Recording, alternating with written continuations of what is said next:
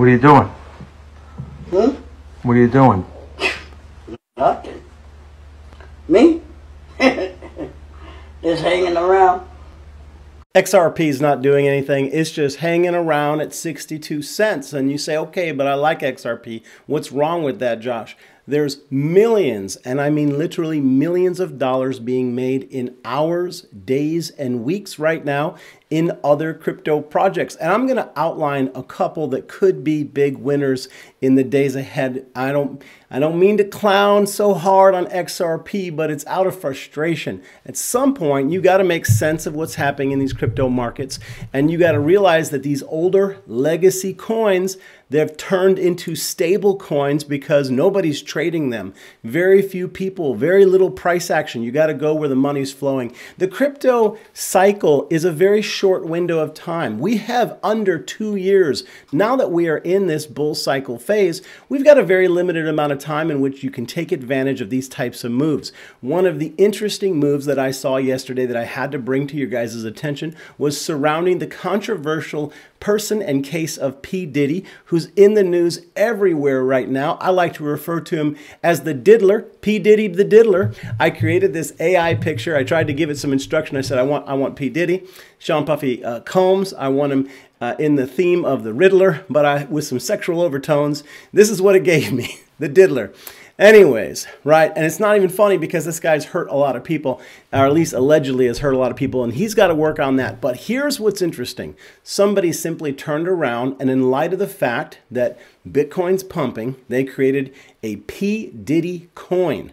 And in hours, it went up 30,000% minting millionaires off of a popular news story. Now, I'm going to take a brief moment. I'm actually going to defend what's happening right now because some people will just say this is pure madness, this is lunacy, uh, you know, that someone can throw a word or coin into the system and money's just flowing into it.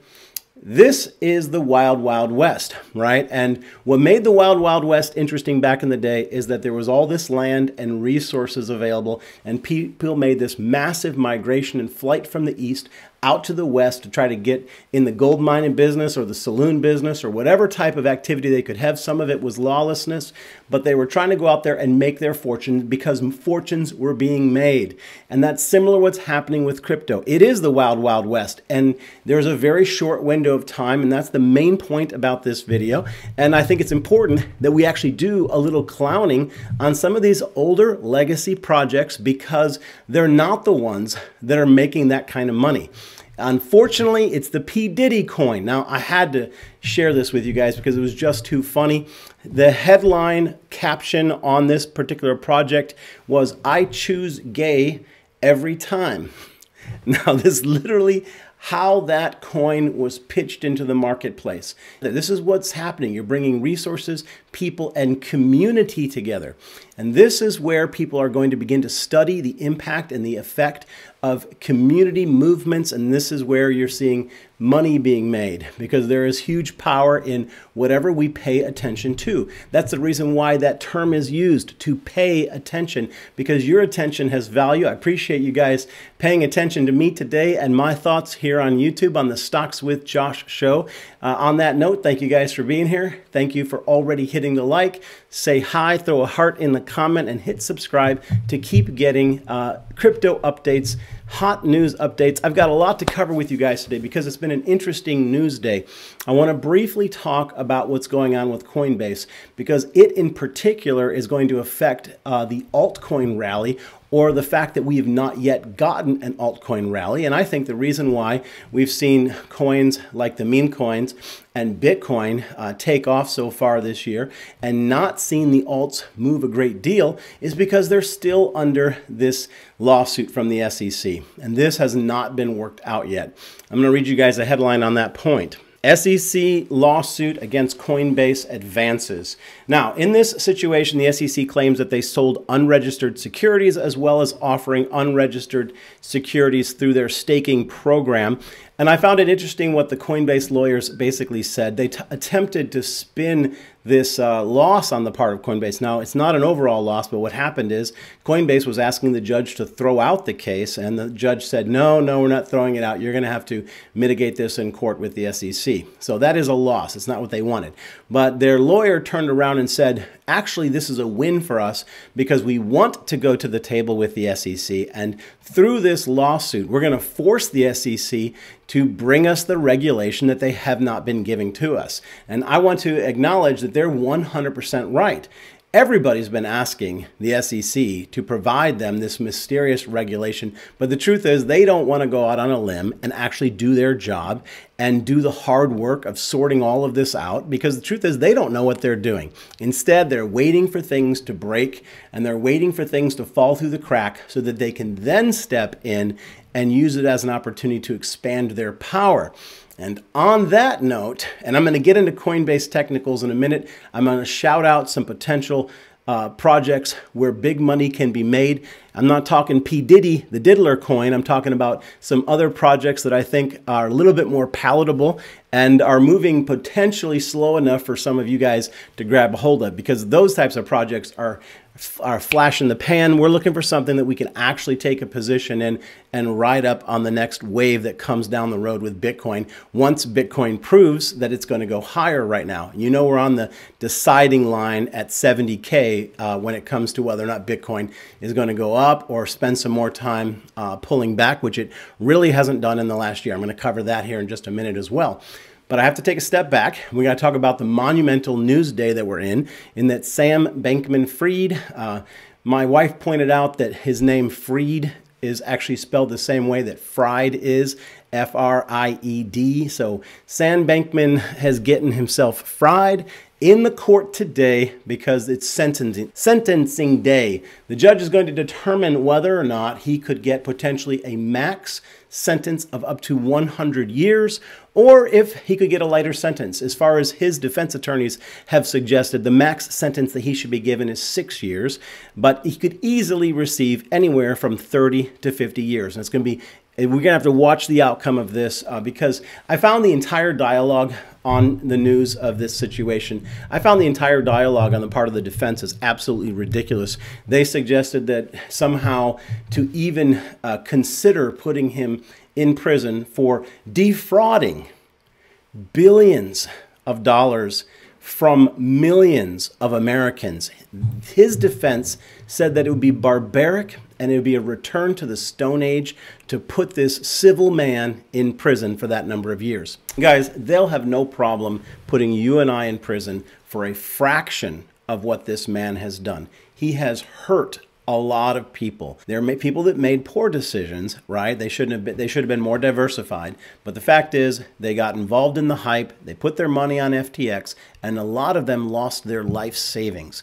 And the fact is that Gary Gensler from the SEC even though he had been visiting with FTX and a lot of the politicians had been collecting uh, donations from FTX, nobody took a minute to go over there and even find out they did they didn't even have a chief financial officer. Here they were a billion dollar company donating to politicians.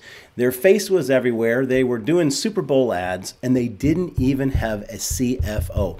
Just a bunch of kids playing down in the Bahamas, gambling with all of your guys' money. Nobody was watching the store. Gary Gensler was supposed to be watching the store, but he wasn't. The SEC neglected it. Now they're going after Coinbase which is a publicly traded company.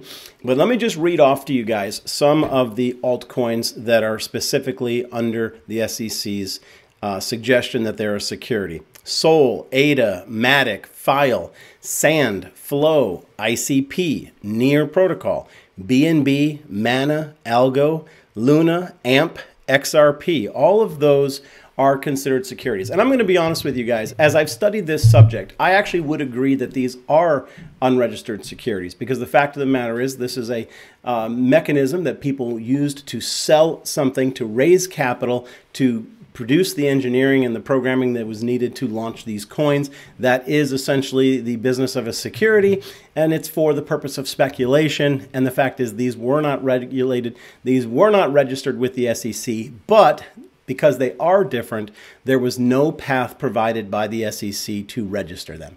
So this has had a little bit of a pullback on the Coinbase chart. I'm going to go into uh, the Coinbase real quick and give you guys my thoughts, super clear thoughts right now on Coinbase because I think the path up or down has been clearly defined in the charts. Let me take the, you guys into the charts and show you that. Okay, I cannot make this any simpler. The first thing I want to point out is that we have this ascending wedge. Ascending wedges are bearish. This will move within this wedge and at some point they often break to the downside. Very, very rarely do they break to the upside. I don't necessarily see that happening. And the few times in which these do break to the upside, those are most often what would be referred to as fake outs. So they'll go up, but then they'll come back in, they'll vacillate more and come to the downside. And so the fact is, as we get closer and closer to the point of the spear on the meeting up lines of this ascending wedge, we know that at some point we're going to break to the downside. Now, we could actually go quite high. I mean, these two meet up around $322. And if we do at any point have a surge or blow off top with Bitcoin, in my opinion, the absolute max price that I see uh, for Coinbase would be 334. And you say, okay, Josh, how could we even determine if a price like that could be achieved? Well, it's achieved at the 284 price line because this is a pretty significant resistance line. And if we were to, on the daily chart, get above it and close, and then the following day, this is important because sometimes I've had to explain this the way that supports and resistance work over a 24 hour window. You want to see it get above and close above 284. And then the following day, it has to open above 284. Because if in the pre market hours it, it falls back beneath 284, then that's a fake signal. So we want to see it open and we want to see it close above 284 open above 284. Now, similarly, and if it happened, then we could be looking for a move as high as 334. Now, similarly, the other scenario would be that it would close beneath 251. 251 is a very strategic support level.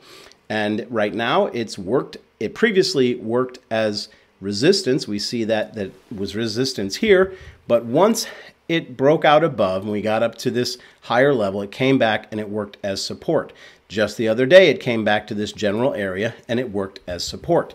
Now, if that fails to happen and we get a close beneath 251, and the following morning it opens beneath 251, then just in the same way that we could go higher if we got above 284, we could get all the way back to previous structure support, which is down at 180. Now, I am not suggesting that that type of thing would be done in a single day. That type of move would occur over the period of a couple months.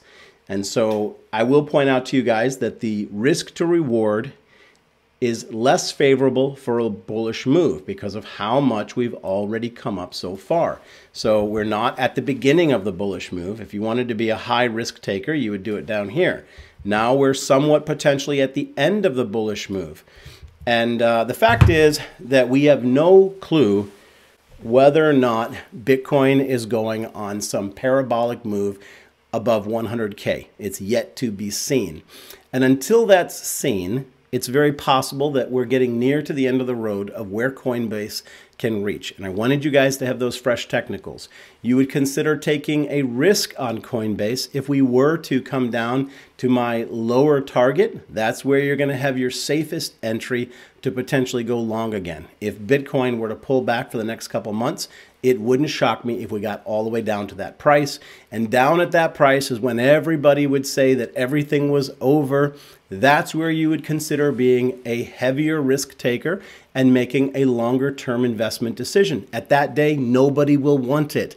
And everybody will be not interested at that point because of how much it's beaten up. But the way the technicals work, it tells you, these technicals tell you where to take higher risk and where to take risk off the table. All right, I'm going to just refresh in my thoughts with you guys. What are some crypto projects where big money could be made? Not, like I said, not the P. Diddy coin, but some other coins that could actually produce some really big results. I'm going to share that with you here in just a minute. Let me take a moment and talk about the MEXC trading platform. Now, this is where you can get some of these early projects because if you're only waiting or only investing in projects that are currently on Coinbase, you're getting to them pretty late. By the time you've gotten to them, they've run up a ton. Now, when you're not looking at Coinbase and you're looking at other exchanges, it's the wild, wild west. Just the other day, we saw KuCoin. They came under charges from the Department of Justice suggesting that they were running a massive money laundering uh, scheme. And so, whenever you're putting money on an exchange that isn't Coinbase, the fact is that it is still the wild, wild west, and you need to realize that there are risks there. But the truth is, that is often the only place where you're going to get these really big returns that you hear people making millions of dollars in the course of 24 hours or even hours. The only place you're going to get them are on platforms like MEXC. Now, I've got a link in the top pinned comment for MEXC, but to be clear, MEXC is restricted for people in the United States. But so you then need a NordVPN router, and I've got a link for that as well. But I wanted to make a point with you guys about this today. It is not illegal for US citizens to use the platform. However, it is essentially an unregistered platform for US investors. And so there's the difference. It's not illegal for you to go onto the platform and to trade and to buy and sell crypto. However, they cannot legally make it available for you in the United States. And so the way that that works is to remove the risk for them by using a NordVPN router because it shows on their end that they didn't sell securities or unregistered securities to US citizens. They sold it to someone in Iceland or Sweden. And that's the way the, the NordVPN router works. It points your location somewhere else. So now I know that some of that's new for you guys. You can click on the link to those two uh, sites and you can learn more about it. NordVPN, MEXC. I'm simply I'm simply sharing that with you because that is where I'm buying projects earlier before they get to Coinbase. Now let's discuss some of those projects that are available that you can invest in before they get to Coinbase. Now, here's the main point I want to make about some of these suggested cryptos that I'm going to give you.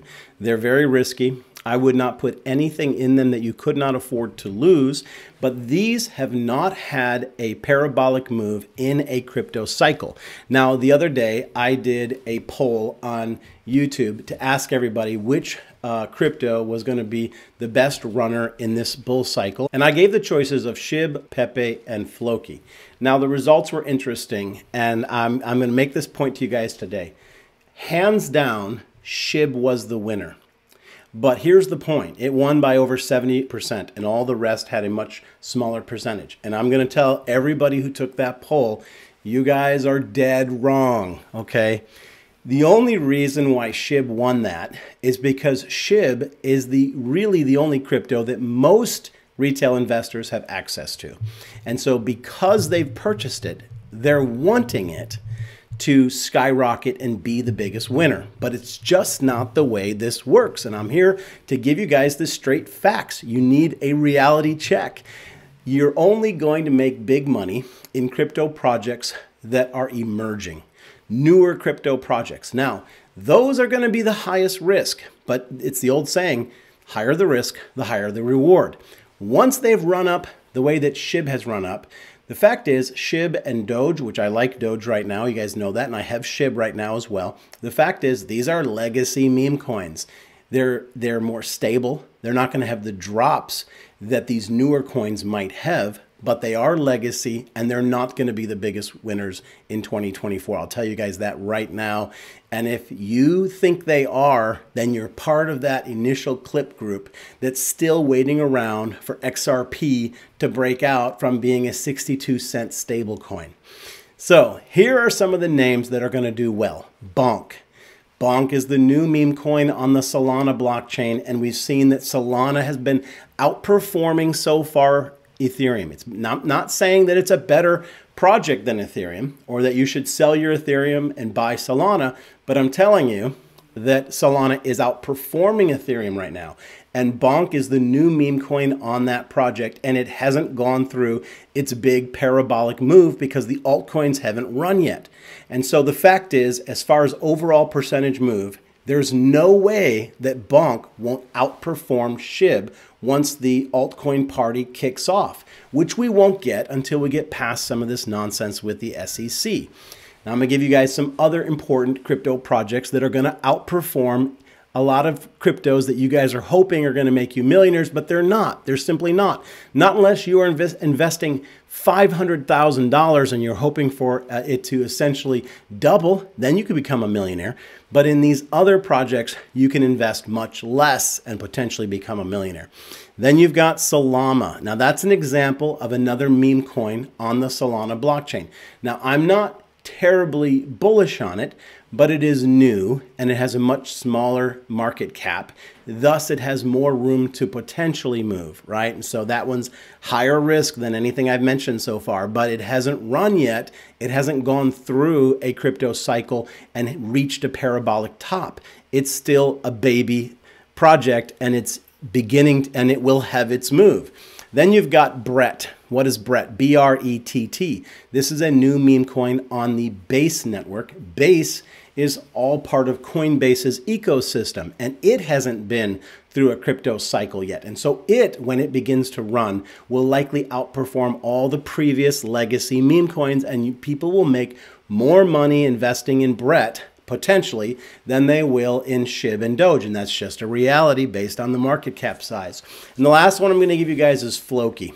Now, Floki is one that I'm very bullish on. I don't know between Floki and Brett and Solama which one will do the best. But if I had to put my money on one, and I've got my money on all of these, but if I've had to put more money on one, it would be Floki. Now, Floki has run a bit more, but it hasn't been through that parabolic bull moment in an altcoin season, and thus it has the potential to reach a peak that the other ones have already been through something like that and may not run up at the same percentage level. You guys have to stop looking at price and begin to look at things like percentage, cycle, and market cap. They're far more relevant. And I'm going to remind you guys that the window of investing in crypto is not as big as you think it is. The hype will tell you that it'll go on and on and on, but it's not. You're looking at under 18 months at this point where there's the potential for making these types of big gains. And the big gain opportunities are only going to happen roughly two times coming up out of the winter, going into a parabolic move, and on some coins you might get a third pump. But in general, it's limited. So I wanted you guys to have some names, fresh technicals on coin today. Um, I'm going to leave it right there. Uh, hopefully this wasn't too long of a video. I appreciate you guys. Thank you for hitting the like. Thank you for watching today and hit the subscribe to continue to get content like this. The markets are hot. We're making a ton of money in crypto. It's an exciting time, but we've got to have the proper metrics to gauge the projects we're in and we got to get the right tools. That's why I'm bringing MEXC and NordVPN to you guys. In my mind, those are the right tools, but we are in the wild, wild west. And so I've got no guarantee that the SEC won't come after them. What I will tell you is that even with KuCoin, when the SEC began to go after them or target them, everything's fine. People are having the opportunity to take their money off, take their crypto off. But this is the wild, wild west. Today we got Sam Bankman Fried. He is uh, like the Jesse James of crypto right now, getting his uh, possibly the noose or getting the you know the big sentence of what's going to happen to him for the rest of his life. It's an interesting day in crypto. I'm going to be doing a live on Stock Up with Larry Jones's page. We'll be talking about some of these things some more. Don't miss it, guys. Appreciate you joining me. Peace and blessings. Take care.